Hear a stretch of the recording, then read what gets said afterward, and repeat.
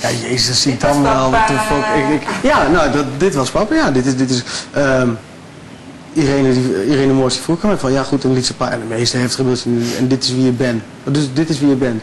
En zeg, zei ik ook van, ja, weet je, ik, het is wel heel leuk dat je het zo polariserend neerzet. Maar ja, dit is dus ook wie ik ben. Zet maar eens een camera op 24 uur per dag, dan zie je hele mooie dingen, je ook hele lelijke dingen. We zijn ook maar mensen. En net zo makkelijk om te zeggen van, ja, je bent op televisie, dus moet je altijd maar de, het perfecte voorbeeld zijn. Nou, neem dit spel dan ook nog eens mee wat erop geënt is, om eh, elkaar af en toe het leven zo zuur mogelijk te maken. Ja, dat is ook wie je bent.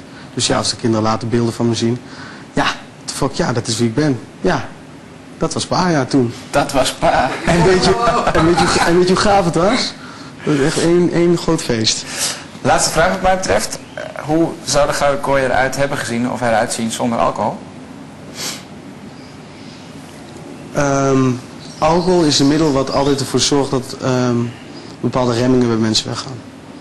Dus dan zou je ehm, een veel meer geremde gouden kooi hebben gezien. Ehm, met de excessen, maar die zouden zich waarschijnlijk op andere manieren uiten. Hoe dan bijvoorbeeld? Zou je misschien wel meer agressie zien zonder alcohol? Meer juist. Minder. Minder. Of eh, sorry, je zou zonder alcohol meer agressie zien, denk ik. Leg dat eens uit. Omdat ehm, alcohol ervoor zorgt dat je de remmingen wegvallen, dus dat bepaalde emoties erin zitten. Dus dit sneller eruit komen. Mhm. En op het moment dat je in een heel geforceerde eh, situatie, ehm, wat de gouden kooi in principe is, daar geen alcohol in gooit, heb je dat het, eh, mensen de emoties veel meer naar binnen slaan. Maar op een gegeven moment moeten ze eruit. En ik denk dat ze dan veel... Is dat eerst opkroppen bedoel je? En Ja, dat denk dan ik. bom, eh, ja, ja. Alleen ja, alcohol is, ja, man, ik heb hier zoveel alcoholrestricties gehad, dat is niet meer normaal. Ja, je hebt nogal eens een sanctie gehad. hè? Ja, we hebben nu allemaal een sanctie, of een sanctie, we hebben nu allemaal een restrictie, vijf, vijf per dag maximaal. En niet na vier uur. Vijf flessen. Vijf glazen. En ehm, ja, ik heb... Ja, ik, nee, nee, nee, nee, want, nee want, dat, want dat was een van, de eerste die, een van de eerste restricties die ik kreeg. Deed ik dat trucje. Dan kwam meteen de volgende dag een brief binnen met de gepaste hoeveelheid alcohol in. Ja, ja. En ze tellen ook echt hoor. Telefoon gaat ook, ja. Maar vijf glazen is de restrictie. Ja, op dit moment. die was, van, het die was drie. En toen is hij naar vijf gegaan. En daarvoor heb ik vier, vier verboden gehad. Maar een beetje alcoholist als jij heeft er niet genoeg aan, toch? Vijf glazen. Ja, maar ik ben geen alcoholist. Maar wel iemand die een feestje gezelliger vindt met een drankje. Ja, Net als ik natuurlijk. trouwens hoor. Ja, Dus, nee, maar dat is ook hartstikke leuk. En dat is in de buitenwereld ook zo. Ik bedoel, in de, kijk, eh, in de buitenwereld gaat alles veel gedoseerder. Dan heb ik gewoon drie weken, als ik drie weken met mijn pleurs moet werken voor iets. Mhm. Ja, dan drink ik misschien wel een glaasje bier s'avonds uh, als ik een hapje eet. Maar dan houdt het ook echt op. Ja. Maar soms heb ik een week heel weinig te doen. Nou, dus kun je mij wel iedere week eh, overal aan het stappen zien hoor. En dan kan ik gerust zo de hele week dronken zijn. Maar ja, hier, hallo, moet je kijken. Je, je, je leeft het leven van. Je hebt geen fuck te doen. Alleen maar leuke dingen. Hartstikke mooi huis. Mooi zwembad, dit en dat. Nou, fles champagne, ja, best. Ja. Ik geloof dat de champagne sponsor in de eerste week al, al, al, al afhaakte.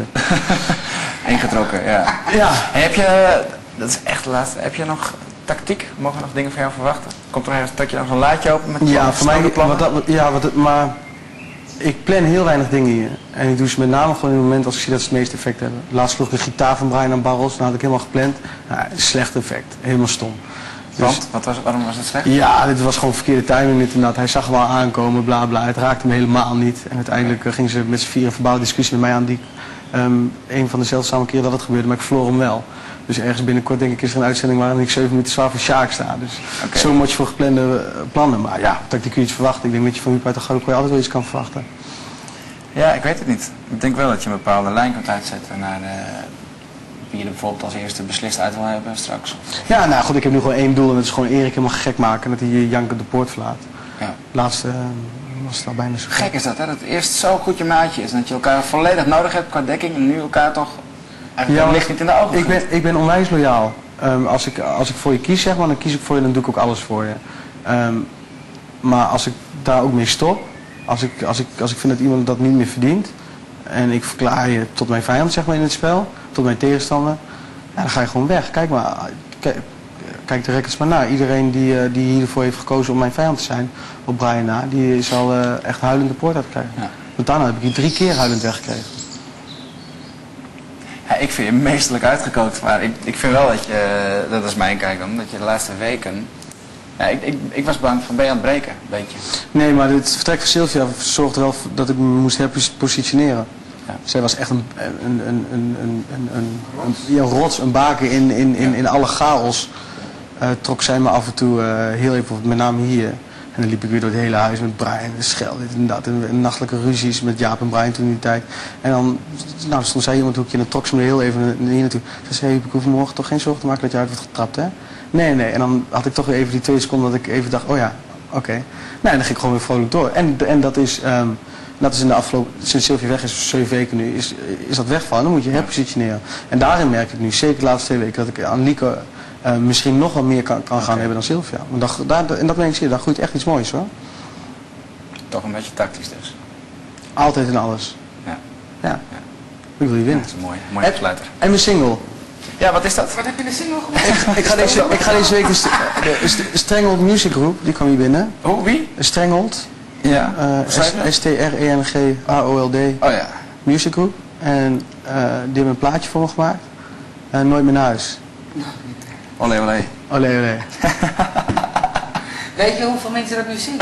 Ik was laatst in uh, Val Thorette, skiën. En iedereen op die berg, als het gezellig was, nooit meer naar huis. Echt allemaal. Nou, grappig? daar gaan we een plaatje van maken. hitlijst te bestormen. En eh, ja, daar heb ik zo ook nog een interview over. Chris. Dan gaan we een videoclip maken. Ik heb altijd, dat is vette shit. Ik heb al vier, je kent Melissa, de butler? Ja? Ja. Ja, ehm, Wie kent hem niet? ja precies. En eh, die kwam gisteren met dat speciaal boekje voor, voor me meegenomen. Maar is ook in stond van de 25 mooiste playmates van dit jaar. En, ehm, eh, en eh, ik zeg van, wil jij niet de topless in mijn clip? Ja, natuurlijk wel wil ik dat. Zeg ik, en zegt ze van, nou, wil je niet een paar playmates uitnodigen? Dus ik met haar heb ik een paar playmates aangevinkt. En die is met een manager zit. Hij wel. Ja, ja. Hier. Ja, en uh, even kijken. En Ama Chappie. A- A- ja, mooi hè. En Amanda en Lieke ook. En uh, zo zaterdag gaan we een feestje met twee, eh, of met, eh, met zo'n met zo'n band. Het leek een beetje op het Soccer Boys, Boys feestje overigens. Dat was ook weer heftig, jongen. En ehm, die komen ook. En zo wil ik 20 vrouwen topless. En eh mooi. Kijk, op glimmen. Ja, dat is wel mooi. Ja, hallo, ik ben ook maar gewoon een stomme gast uit de provincie. En fuck man. En, eh, en, over, te- en over drie weken is mijn clip op MTV te zien. Ja, ik vind het wel gaaf. Ja. Dus eh, ja, die willen ze ook gaan pluggen en die gaan ze ook uitbrengen. En die willen ze ook overal naartoe hebben, naar Ibiza en dit en dat. Normaal. Maar je gaat hem ook zelf inzingen ook. Ja, tekst is al, eh, tekst is al helemaal klaar. En, eh, het is een, oh nee, dat mag ik niet zeggen. Het is een hartstikke leuke, fantastische muzikale plaat natuurlijk.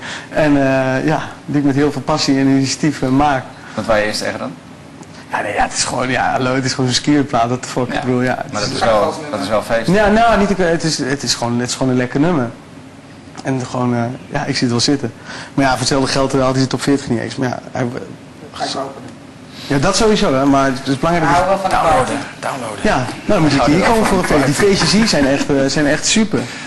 Wat ik nog even wil doen is dat Joop even een foto maakt dat we jou interviewen. Misschien eh, kunnen ze dat gebruiken. Het is wel leuk om, eh, om hè, dat ook echt dat we in de kooi eh, geweest zijn. Zeg maar. Dus ik ga even Oké. Joop zoeken. Ja, tuurlijk. Ja, Hou jullie even gemak. ik heb hem in, ja.